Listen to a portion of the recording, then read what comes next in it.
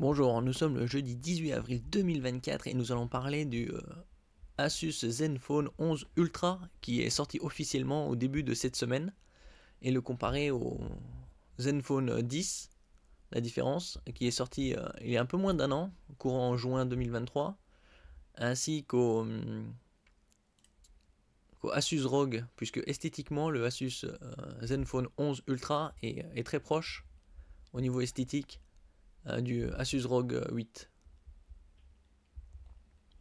Alors ici, il est en deux, euh, deux déclinaisons, 12 euh, Go de RAM et 256 Go de, de mémoire, ou en 16 Go et 512, pour une différence d'une centaine d'euros entre les deux versions. Et les couleurs sont, il est en noir, bleu, gris ou orange.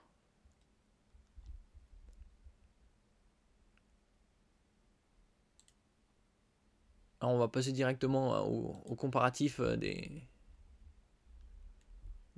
trois, smartphones. Le ROG Phone 8 Pro, le Zenfone 11 Ultra et le Zenfone 10. Alors au niveau tarifaire, il y a une centaine d'euros de différence entre le ROG Phone 8 en version 16 euh, et 512 et le Zenfone 11 Ultra à la même, euh, aux mêmes caractéristiques euh, de RAM et de mémoire. Alors la différence esthétique, euh, à part qu'il soit le Zenfone 11 en, en 4 couleurs, il est, il est quasi identique et nous le verrons ici. Poids et dimension 225, 225 et comme vous pouvez le voir, les dimensions sont totalement identiques. En gros, le Zenfone, le Zenfone 11 Ultra c'est ni, plus ni moins qu'un ROG Phone 8 euh, Pro. Il y a juste la surcouche euh, gaming qui différencie euh, le ROG Phone 8 du 11 Ultra. Puisque système d'exploitation OS, Android 14 avec ROG UI, alors que l'autre c'est juste Android 14. On va comparer d'abord ces deux-là, au niveau de l'esthétique et des caractéristiques, et après comparer les, les Zenfone 10 et 11 au niveau des, CPU, c'est exactement les mêmes. La mémoire, c'est de la LP DDR5X 16 Go. Et l'autre, c'est soit 12, soit 16. Mais en la version 16, le, comme je dis, le Zenfone 11 Ultra est à 1100 euros, alors que l'autre, il est à 1200.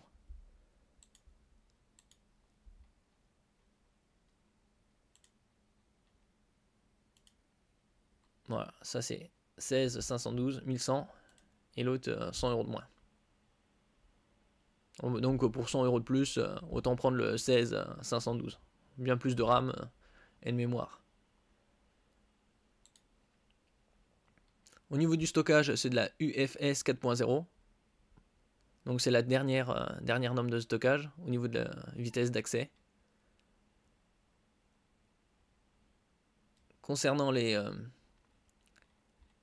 l'affichage, c'est le même, puisque c'est du 6,78 pouces en Full HD+. Ça va de 0 euh, de 1 Hz à 120 Hz en LTP haut. Euh, et en gaming, c'est du 144 Hz. Au niveau de la luminosité, c'est du 1600 nits, l'unité de, de, mesure de luminosité, et ça va jusqu'à un pic de 2500. Au niveau de la protection, c'est du Gorilla Glass Victus 2, c'est-à-dire la dernière norme. Et euh, concernant la zone euh, colorimétrique euh, reproduite, 107,37% du DCPI 3, 145,65% sRGB et 103,16% NTFS, NTSC.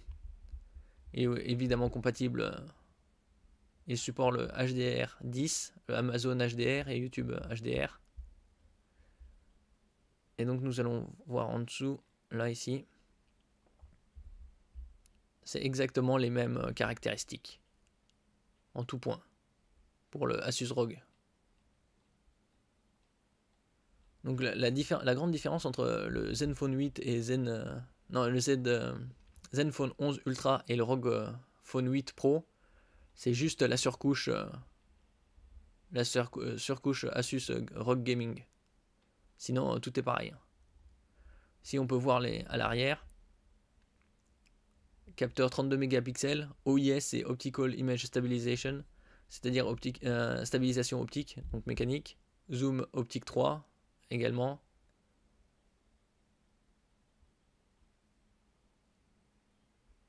Le, capteur, euh, c'est un Sony IMX 890 également. Tout est identique.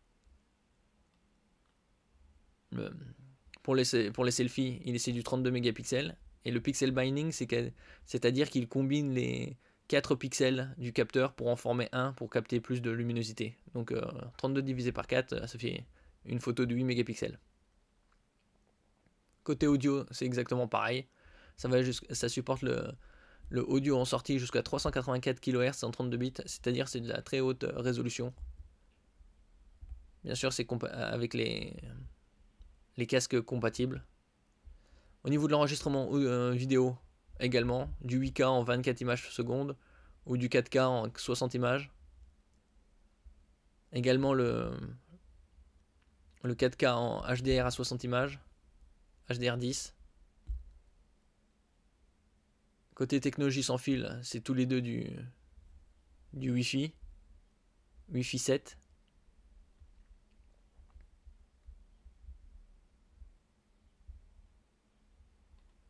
Navigation également, ça, ça change pas grand chose. Tous les deux sont en dual SIM. 5, 5G. Euh, Au niveau de la batterie, vous voyez, c'est du 5500 mAh. C'est quasi tout identique. Il y a juste la différence que le Zenfone 11, il est en 4 couleurs différentes. Et, euh, et que le ROG Phone, euh, il a juste la couche spéciale gaming. Sur couche gaming. Sinon, tous les deux sont Android 14. Là, vous avez euh, la charge à 65 watts et ainsi que euh, le sans fil par induction à 15 watts. Vous voyez ici également 65 watts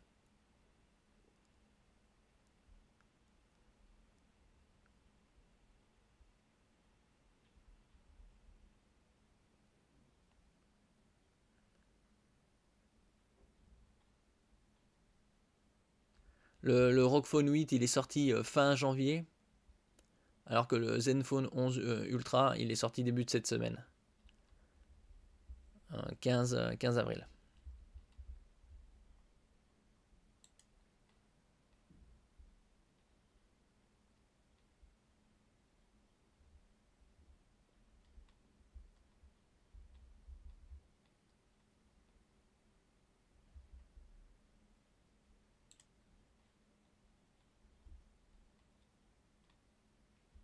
En parlant de LPD euh, DDR5X, vous voyez c'est du 24 sur la version euh, Rockphone 8 Pro Edition à 1500. Et avec les nouveaux, euh, comme j'ai fait la, précédente vidéo concernant la RAM sur la LP DDR5X, mais nouvelle vague, qui est plus rapide, jusqu'à 10,5 gigabits, on pourra aller jusqu'à 32 gigaoctets de, RAM. Mais là déjà 16 ou, ou 24, c'est déjà conséquent.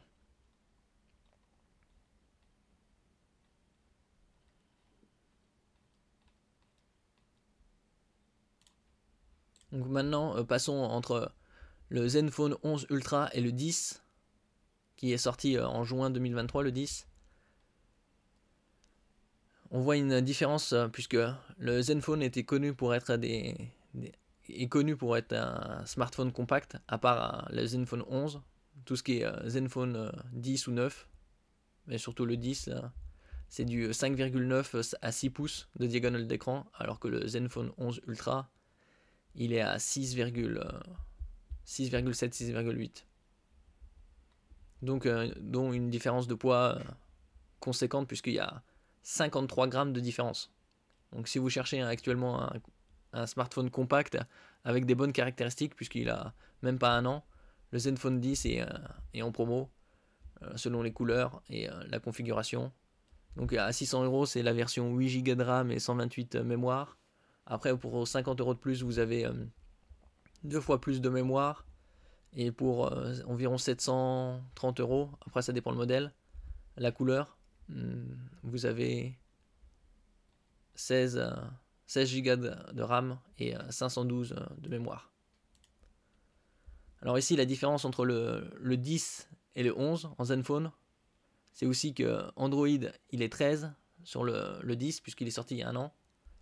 Mais il y a des mises à jour, euh, deux ans, deux mises à jour euh, majeures pour Android, donc ça peut passer à, 13, à 14 et 15. Le 15 sortira euh, fin de cette année, début de l'année prochaine plutôt. Et donc ici on a un Snapdragon 8 Gen 2 face au Gen 3. Côté GPU, c'est un Adreno, 740 face à 750. Et au niveau de la mémoire, c'est la même, c'est la même norme. c'est du LPD DDR5X Sauf que sous, euh, euh, Snapdragon 8 euh, Gen 2, la, la RAM est légèrement moins, véloce. Il y a quelques centaines de, de mégahertz de, de, moins. Sous Gen, c'est 8500 MHz, alors que sous Gen 3, 8 Gen 3, c'est 9600. Côté stockage, c'est du UFS 4.0, comme on peut le voir. Et ici, on peut voir la, taille de l'écran, 5,9 pouces. Donc c'est un vrai compact. Donc certaines personnes cherchent plus des compacts que d'avoir des espèces de tablettes de, poche ou des mini télé. Et sinon, les caractéristiques sont similaires puisque c'est de l'AMOLED de Samsung. Au format 29e. Et on voit que la, la définition est la même. 2400 par 1080, ce qui fait une densité de pixels supérieure sur le 5,9 que sur le 678. Côté capteur photo, euh, on voit un, IMX 766 face à un IMX 890. C'est une génération euh, de différence. Une ou deux.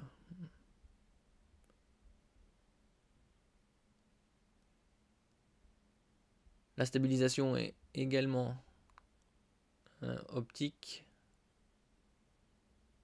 Optique sur le 11 Ultra, ici.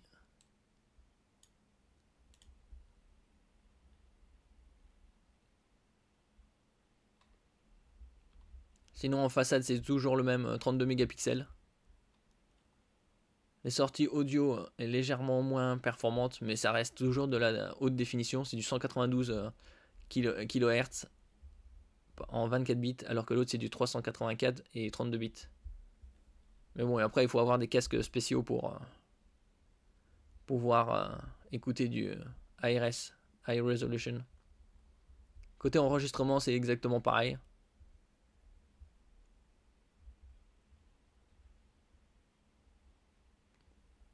Puisqu'il enregistre en 8K à 24 Hz ou du 4K en 60 Hz. La différence, c'est que sur le Zenfone 11 Ultra et le ROG Phone 8, il peut enregistrer également en HDR10+.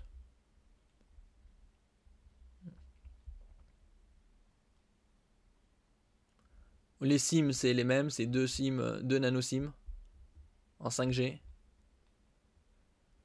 Et au niveau de la batterie, elle est, moins importante puisque c'est un compact sur le Zenfone 10. C'est à 4300 mAh face à 5500. Le chargeur c'est du 30 watts, donc euh, bien plus, euh, bien plus léger, donc euh, moins, ça, prendra beaucoup plus de temps à charger la batterie, mais en même temps elle est moins, moins importante, donc ce sera à peu près équivalent le temps de chargement.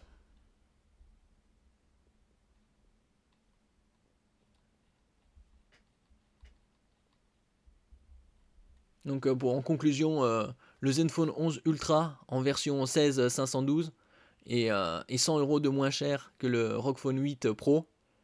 Et euh, la seule différence, c'est euh, juste la surcouche euh, ROG UI. Donc c'est la seule différence. Sinon, toutes les caractéristiques sont identiques. Et concernant le Zenfone 10 et le Zenfone 11 Ultra, c'est on passe d'un compact, le 10, à, une fablette, euh, le 11. Moi je trouve que c'est dommage parce qu'ils auraient pu euh, auraient pu continuer sur cette lancée et faire un, compact. Parce qu'il y a des gens, il y a pas mal de, personnes, de clients qui cherchent des, des, compacts. Et au niveau euh, caractéristique, entre le 10 et le 11, vous voyez, c'est la même mémoire à peu près. le stockage aussi. Et au niveau des autres caractéristiques sont, très similaires. Je mettrai tous les liens en description bien évidemment. Merci pour votre écoute. N'oubliez pas de mettre un j'aime, un commentaire, de partager et de vous abonner à la chaîne. À la prochaine fois.